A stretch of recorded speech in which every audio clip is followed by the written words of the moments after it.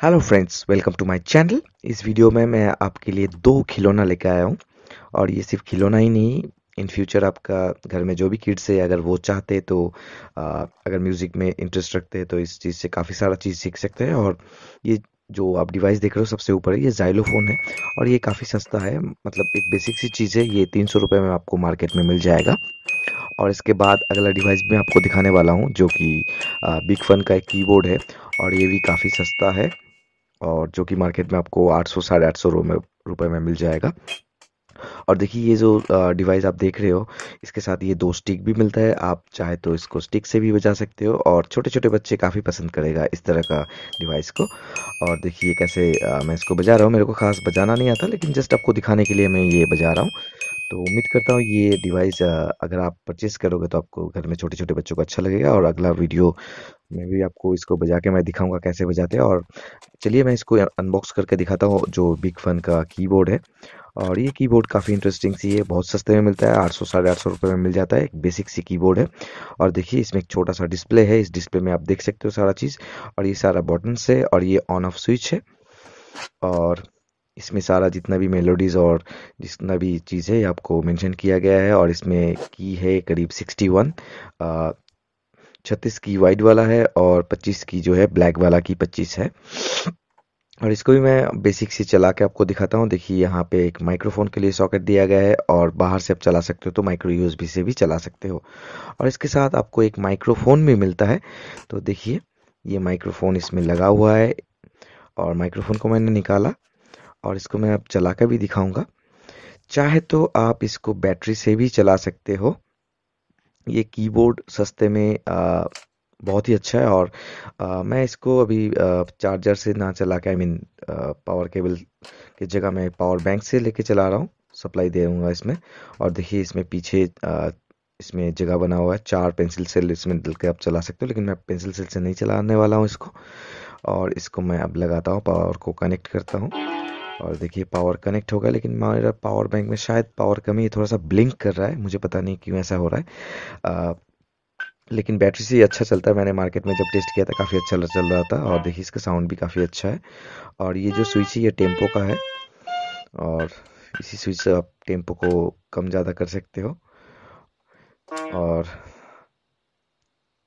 अलग अलग टोन इसमें है। इसको आप चला सकते हो, आप साउंड को कम ज़्यादा भी कर सकते हो।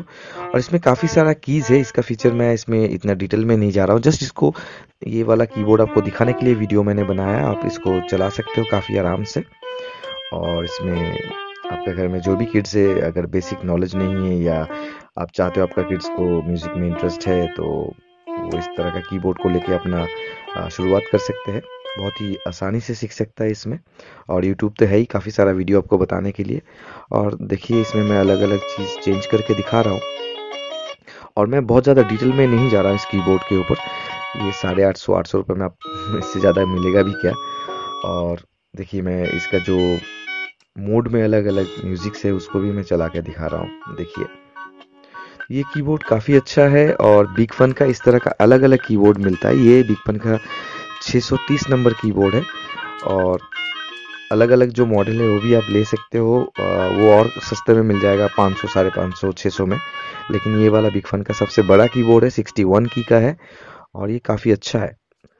और जैसे आपको लगता है कि आपका घर का जो भी बच्चा है, वो थोड़ा बहुत सीख गया तो आप तब जाके कोई अच्छा कंपनी का कीबोर्ड उनको लेके दे सकते हो।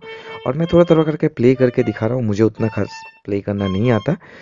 बस मैं इसको रिव्यू बोलो, कुछ भी बोलो तो इसलिए मैं इस कीबोर्ड का एक वीडियो बनाया तो इसीलिए इसको मैं चला के दिखा रहा हूँ। देखिए, मैंने इसका अलग अलग मोड भी चेंज करके दिखा रहा हूँ, कैसे बजाते इसको। तो मुझे तो काफ़ी अच्छा लग रहा है। हाँ इसमें थोड़ा सा दिक्कत मुझे ये लग रहा है, इसका जितना भी कीज़ है, इसको जब आप प्ले कर रहे हो ना खट खट खट खट आवाज़ करते रहता है। तो देखिए मैंने दूसरा एक म्यूज़िक को प्ले किया जो इसका इनबिल्ट म्यूज़िक है अलग अलग देखिए और चाहे तो आपका टेंपो को भी चेंज कर सकते हो।